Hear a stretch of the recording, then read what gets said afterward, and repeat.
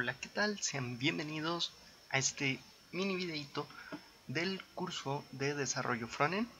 en el cual ya empezaremos con cuestiones teóricas muy muy breves que inclusive es una diapositiva nada más, pero bueno, básicamente el desarrollo frontend eh, les explico lo que un sitio web va a hacer es tomar múltiples documentos o múltiples archivos que nuestro buscador va a descargar. Y esto, pues básicamente es lo que va a dejar que nuestro usuario vea todo el sitio. De hecho, inclusive aquí lo puse de manera un poco más literal. Eh, si entramos, por ejemplo, a las opciones de desarrollador dentro de cualquier sitio web, por ejemplo, muy concretamente yo entré al de YouTube, porque este curso es para YouTube, entonces, pues, como ven, aquí tenemos cuestiones de CSS, JSON, que al final es JavaScript, más CSS, y un documento índice con el cual empieza a moverse por muchos lados y nos da todo el contenido, el sitio. Pero como ven, está compuesto de muchas, muchas eh, páginas, por así decirlo, muchos documentos, que al final eso es lo que nosotros vamos a hacer. Ahora, sitios como YouTube utilizan modelos de backend bastante avanzados con los cuales nos dan respuestas múltiples. Nosotros vamos a trabajar con páginas relativamente estáticas que al final van a poder interactuar, por supuesto, pero con sus ciertas limitantes y esto lo iremos viendo, pero en principio esto es lo que vamos a ir haciendo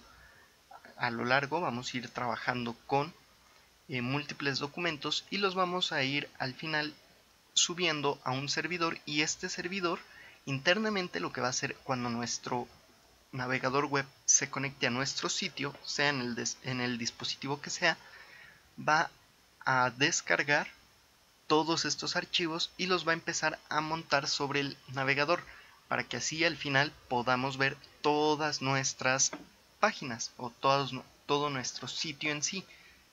Y pues básicamente eso es lo principal. Eh, también debemos aclarar que hay justamente una cuestión del navegador y esa es que al final el navegador va a estar interactuando. Digamos que a la persona que esté frente a nuestro a su computador va, vamos a llamarlo cliente, y este cliente lo que va a hacer es conectarse a, un, a una computadora remota también. Eh, remoto significa a distancia, o sea que no es una computadora física, no va a llegar y se va a sentar en tu computadora para ver el sitio, sino desde cualquier punto en el mundo va a poder eh, conectarse por lo que al final a estas computadoras a las que se conectan se les llama servidores. A lo largo de todo el curso iremos viendo esta cuestión de los servidores y todo esto, pero hay que saber que al final nosotros tenemos que subir nuestro sitio a uno de estos servidores en remoto para que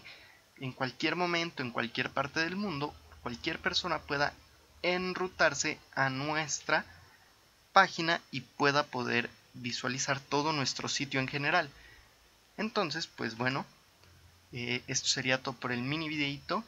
Espero que te haya gustado, like, favoritos, comentan y nos vemos en más y mejores videitos. Chao, chao.